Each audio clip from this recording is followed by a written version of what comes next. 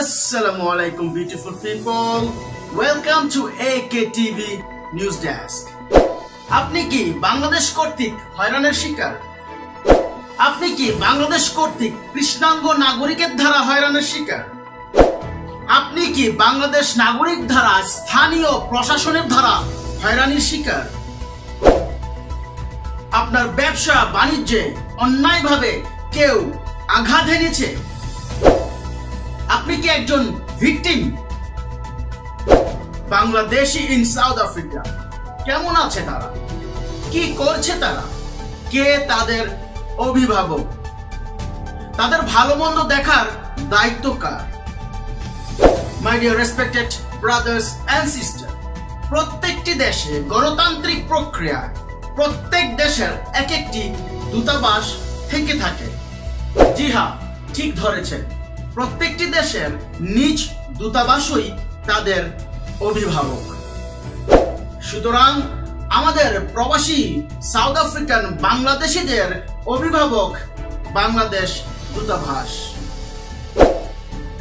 অত্যন্ত আনন্দের সঙ্গে আপনাদের জানাচ্ছি যে বাংলাদেশি পরিষদ অর্গানাইজেশন নামে সাউথ আফ্রিকার বুকে একটি সংস্থা রয়েছে।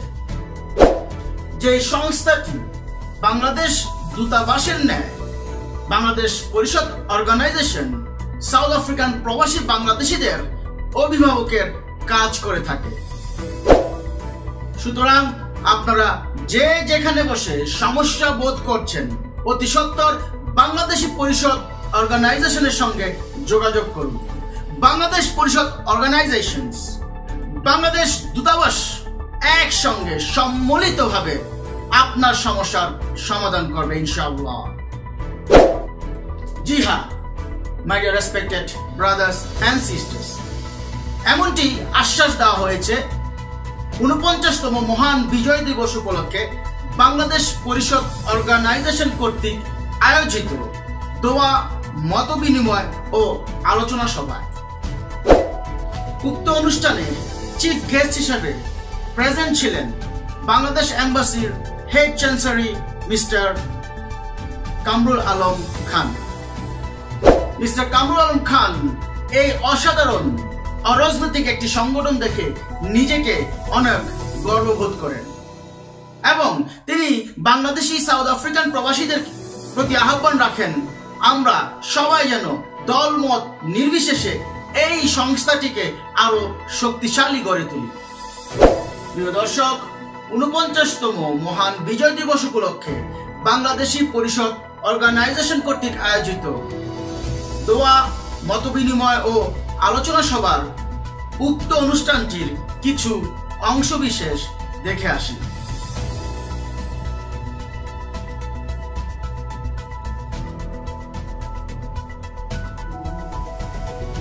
ثم سبل ربك جللا يخرج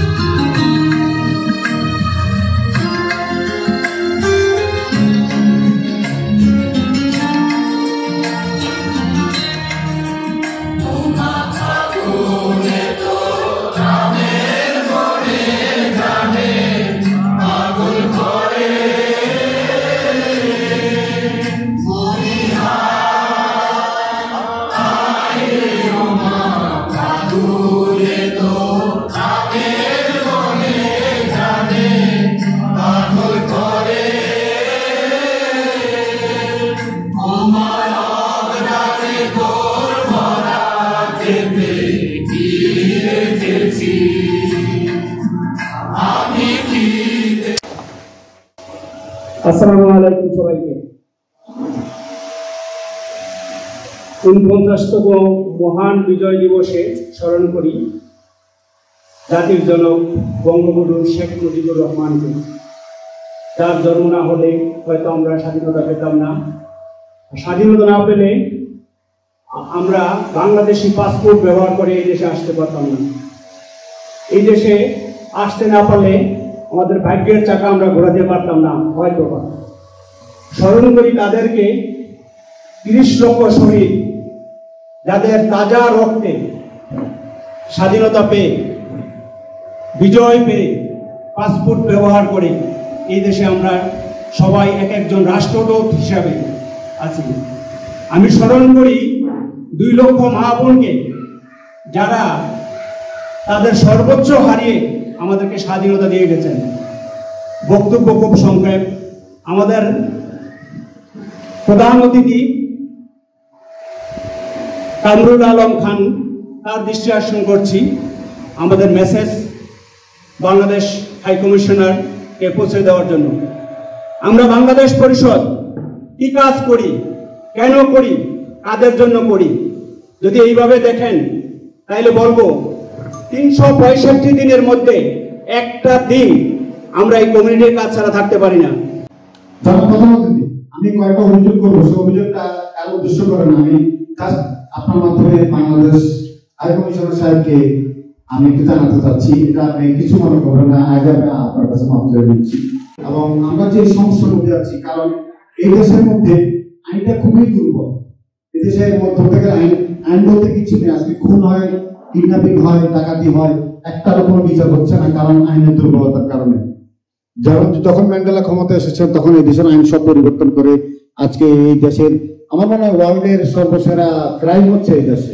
এই কারণেই আমরা ওনাকে বুঝাতে চাচ্ছি, এখন আমাদের মেইন সমস্যাটা হচ্ছে যে মহামারী আকারে কিডন্যাপিং। এবং এই দেশে যত বাংলাদেশি মারা যাচ্ছেন, প্রত্যেক সপ্তাহে আমার মনে হয় পুরো পৃথিবীতে যত প্রবাসীরা আছেন সবগুলো এই ধরনের হবে না। কিন্তু আমরা একটা মার্ডারেরও, সমস্ত মার্ডার হচ্ছে। একটা মার্ডারেরও আমরা বিচার পাচ্ছি না। গত ছ বছর যাবৎ আমরা অবহেলিত এবং অভিভাবকহীন বাংলাদেশ দূতাবাসকে চেষ্টা করেছি অনেক কাছে আনার জন্য, কিন্তু আমরা কোনো ওনার কাছে কোনো পাত্তাই পাইনি। কিছু কিছু লোক ওখানে আশ্রয় গ্রহণ করেছিল তখন তারা স্পেশালি যারা দু নম্বরের কাজের সাথে জড়িত, ওরা বাংলাদেশ দূতাবাসের সাথে জড়িত ছিল। এ কারণে জানি না উনি আমাদের সম্পর্কে কি জানেন। তাই আমি জানতে চাচ্ছি আপনাকে যেন আপনি যদি আমাদেরকে ভালো হিসেবে আজকে মনে করেন, আমি মনে করি আপনি কি আমাদের এই মেসেজটা পৌঁছা দিবেন। উনি যেন আমাদেরকে সহযোগিতা করে। আমরা খুবই সমস্যার মধ্যে আছি। আমরা এই দেশের টাস্কফোর্সের সাথে কাজ করছি। কিডন্যাপার ধরার জন্য কিন্তু কোনো বিচার হচ্ছে না। আবার খুব সহসায় আমাদের বাংলাদেশ সরকার যদি মনে করেন, তাহলে আমরা এই সমস্যাটা সমাধান করতে আসব। এবং সর্বশেষে আমি সবাইকে শুভেচ্ছা জানিয়ে মহান বিজয় দিবসে শেষ করছি। আসসালামু আলাইকুম রহমতুল্লাহ আনিসুর রহমান সাহেব অন্যায় করেন। আমরা তাদেরকেও ছাড় দিচ্ছি না। এবং আমি নিজে সাধারণ সম্পাদক মোহাম্মদ মহুনুল হক যদি কোনো অন্যায় করি তার কোনো আমরা ছাড় পাচ্ছি না।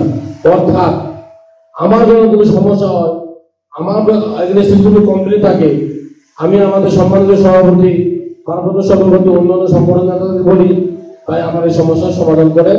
আমি অন্যায় করতেছি না, দেখেন। আমরা এইভাবে কাজ করি। আমরা বাংলাদেশ পরিষদ অর্গানাইজেশন এখনও বড় গলায় অনেক জোরে সোরে বলতে পারি, বাংলাদেশ পরিষদ অর্গানাইজেশন অর্থের কাছে এখনও বিক্রি হয় নাই, ভবিষ্যতে বিক্রি হবে না। সাউথ আফ্রিকায় সাউথ আফ্রিকায় এমন কোনো বাংলাদেশ নাই যে বাংলাদেশ পরিষদ অর্গানাইজেশনের কোনো সংগঠন কোনো নেতাকে, কোনো কর্মীকে, সভাপতি, সেক্রেটারিকে কিনতে পারে এমন কোনো বাংলাদেশের জন্ম হয় নাই সাউথ আফ্রিকার মনে। এই জন্য আমরা হাই কমিশনে আমাদের রিপ্রেজেন্টেটিভ করছেন ওনাকে অনুরোধ করব হাই কমিশনার সাহেবকে বলবেন, আমরা যেন বাংলাদেশ পরিষদের সাথে কাজ করেন একসাথে আপনার, আপনি আমাদের কোনো ঘরে যদি পাঁচটি ছেলে থাকে, তার পিতা ওই পাঁচটি ছেলেকে সমান চোখে রাখেন বাংলাদেশ হাই কমিশন আমাদের পিতার সমতুল্য। আমরা যদি কোনো অন্যায় করে থাকি, আমাদেরকে ডাকেন, আমাদেরকে শাসন করেন, আমরা শুনতে বাধ্য। কিন্তু আমাদেরকে অপথে পাঁচটি ছেলে যদি আপনি থাকে কাউকে আপনি তুলে ফেলবেন না। আমি অনুরোধ করব, আমাদেরকে এভাবে চলে ফেলে দিবেন না। চাই এখন বাংলাদেশ হাই কমিশন যেমন বাংলাদেশের অভিভাবক বাংলাদেশ হাই কমিশন, বাংলাদেশ পরিষদ অর্গানাইজেশনেরও সম্মানিত সভা, যত আমাদের তিন থেকে চারশো সদস্য আছেন, সবার আপনারা অভিভাবক।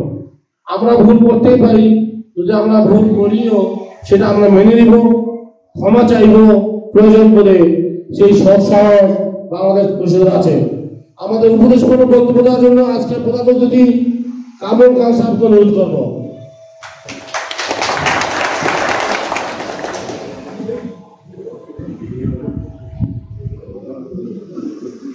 আসসালামু আলাইকুম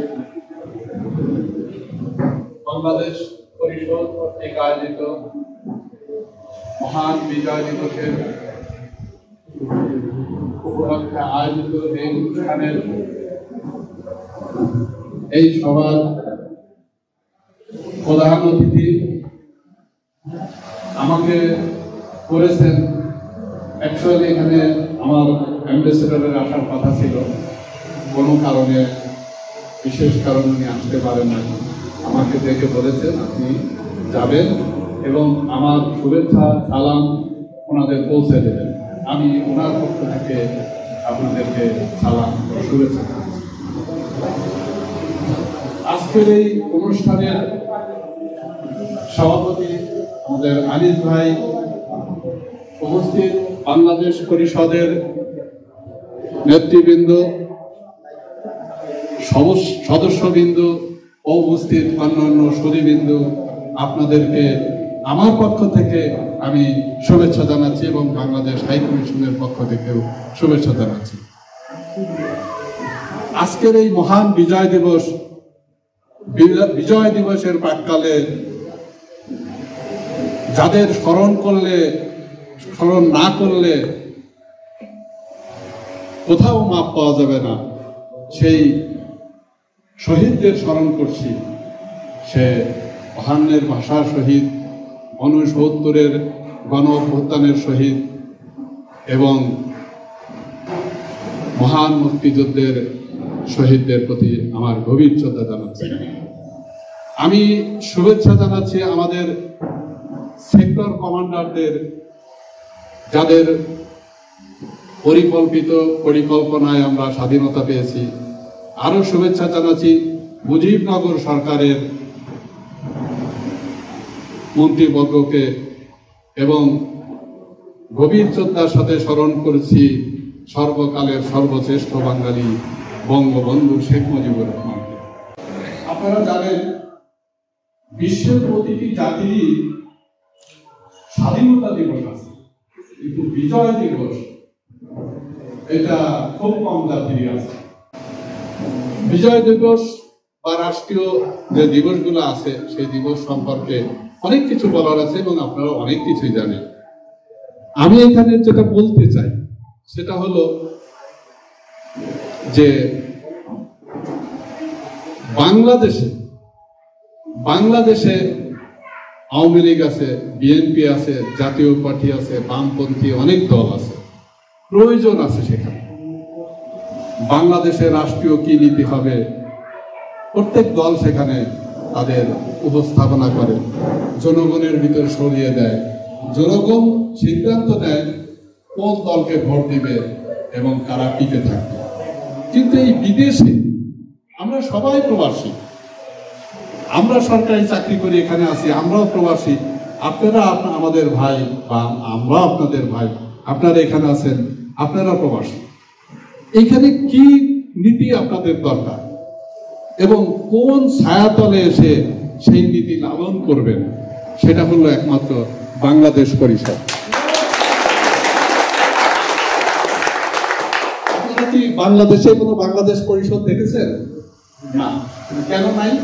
সেখানে অনেক দল আছে দেশের স্বার্থ দেখার জন্য। দল ওই জন্যই সৃষ্টি হয়েছে। দল, মত থাকবে আগেও ছিল, এখনও আছে, ভবিষ্যতেও থাকবে। তাহলে বাংলাদেশ পরিষদ বাংলাদেশের নাই কেন? কারণ প্রয়োজন নাই। এইখানে প্রয়োজন আছে। আওয়ামী লীগ না থাক, বিএনপি না থাক জাতিপাতি না থাক, কিন্তু বাংলাদেশ পরিষদের প্রয়োজন আছে। এমন একটি অনুষ্ঠানে আসতে পেরে খুবই ভালো লেগেছে। বা আমাদের প্রবাসীদের সেবা করার সুযোগ ছিল এবং যথাযথ করেছি। কিন্তু কোথাও হয়তো এইভাবে সব দলমত নির্বিশেষে একই ছায়াতলে এসে আপনারা যে আশ্রয় নিয়েছেন সেভাবে পাইনি।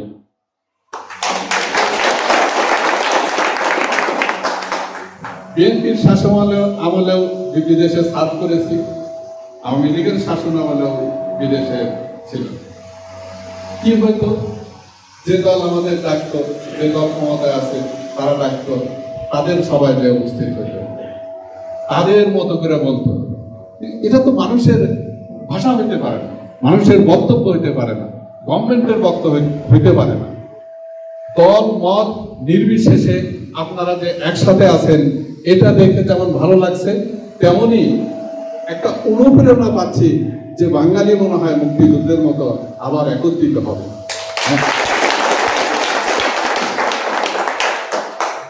আপনাদের দাবি দাওয়া আছে, মিশনের কাছেই তো বলবেন। এটাই স্বাভাবিক। বিদেশের মাটিতে আপনারা সবাই বলছেন যে আমাদের মুরব্বী বা আমাদের প্রতিনিধি বা আমাদের পরিচালক। আমি মনে করি যে আপনাদের বন্ধু হিসেবেই আপনাদের পাশে থাকতে চাই। সবাই বলেন, আপনারা সবাই বলেন মিশনে গিয়েও বলেন এখানে আসেছি এখানেও এই মঞ্চে দাঁড়িয়ে অনেকেই বলে গেছেন, প্রধান সমস্যা হচ্ছে কিডন্যাপ। আচ্ছা আমরা কি আপনারা যারা নিজেরা এখানে আছেন, এই কিডন্যাপের কারণটা কি? হঠাৎ করে ভুল করে কোন ধরনের অঘটন ঘটলে সেটা সেটেল করতে হয় জীবনের বিনিময়ে। এরকম খুন এই দেশে অনেক হয়েছে।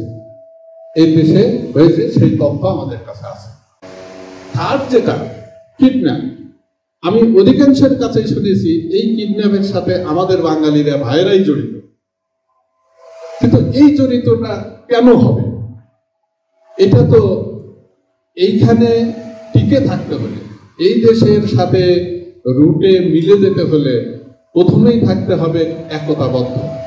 একজন ধনী, একজন গরিব, এটা মহান আল্লাহ তালারই সৃষ্টি।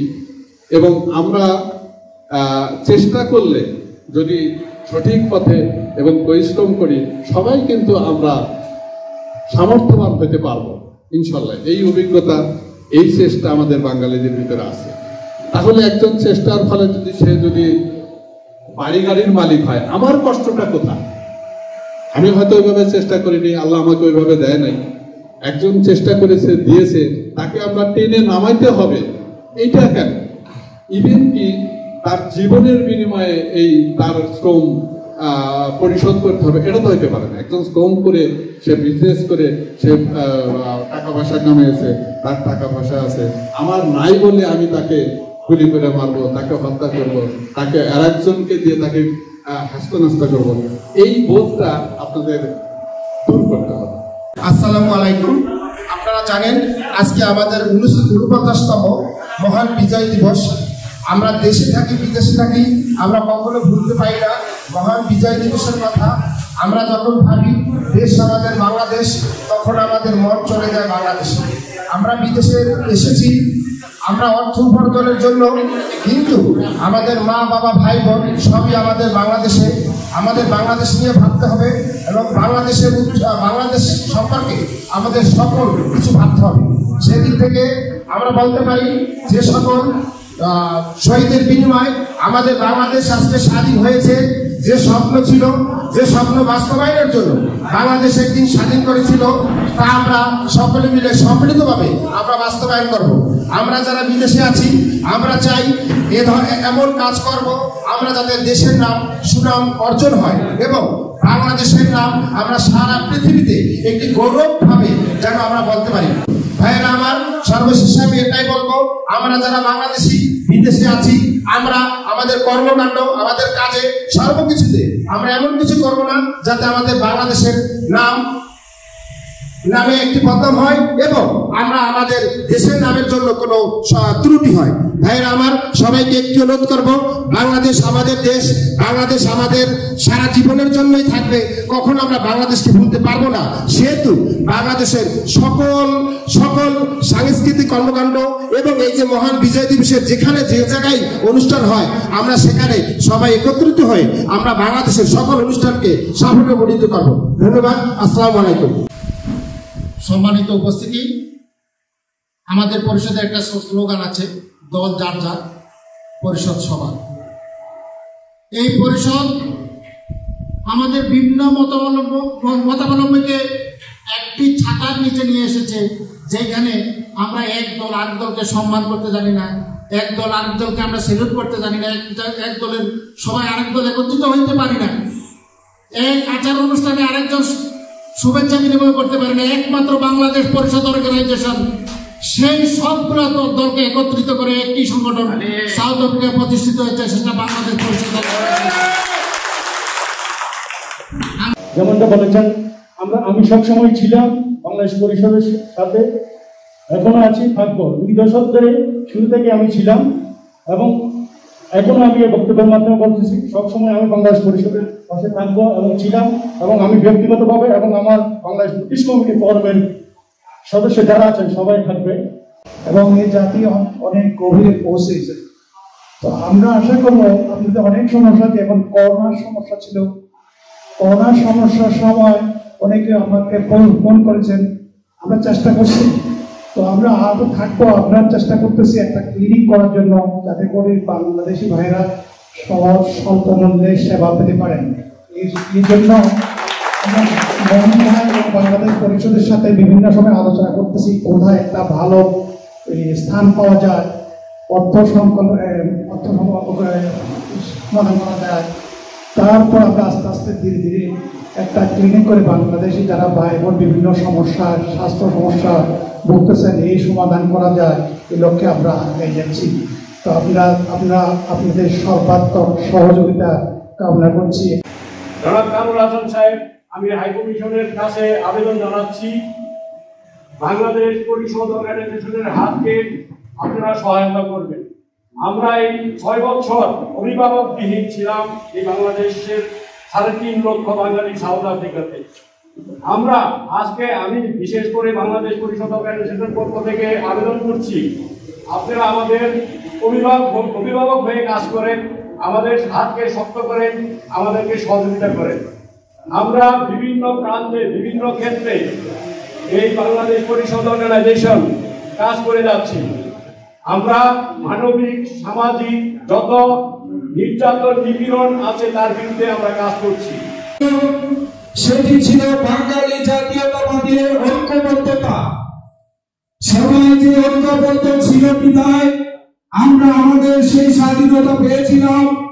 তাই আমরা তাদের দেওয়া স্বাধীনতা এবং বাংলাদেশের এই লাল সবুজের পতাকা যে পতাকাকে যদি অক্ষুণ্ণ রাখতে চাই, তাহলে আমরা পৃথিবীর যেখানেই থাকি আমাদের ঐক্যবদ্ধ থাকতে হবে? ভুলে গেলে চলবে না, আমরা বাংলাদেশি। আমরা পৃথিবীর যে প্রান্তে থাকি, আমাদের কমিউনিটিকে শক্তিশালী করতে হবে। আমরা ঐক্যবদ্ধ থাকলে আমাদের কাঙ্ক্ষিত সাফল্য আসবে। নয়তো নয়। তাই আমি বলব, আমরা যারা সাউথ আফ্রিকাতে বসবাস করি, আমরা বিভিন্ন ভাবে ছড়িয়ে ছিটিয়ে আছি। আমরা